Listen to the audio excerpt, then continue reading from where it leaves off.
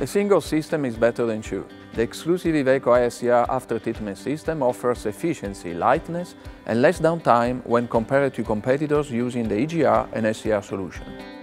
HI-SCR is the only anti-emission system which doesn't alter the combustion process, because it doesn't recycle exhaust gases, but instead channels just clean, fresh air into the engine and allow a more favorable air-fuel ratio.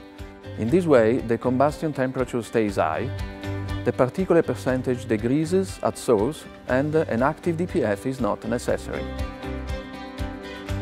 The DPF regeneration is passive, continuous and managed completely by the vehicle. No driver intervention is necessary, no periodical technical downtime is needed, and the reliability of components is even increased. In this way, temperature anomalies are avoided when accessing sensitive environments, such as in tunnels and on ships.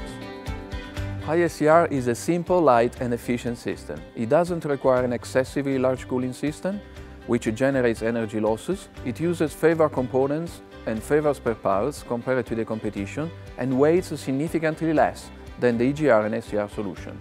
The HI-SCR system is an Iveco exclusive technology in the world of commercial vehicles. The new Eurocargo is the only Euro 6 medium-duty truck adopting the unique Iveco HI-SCR technology. Regeneration? No thanks. Keep on running with Iveco. New Eurocargo, the truck the city likes.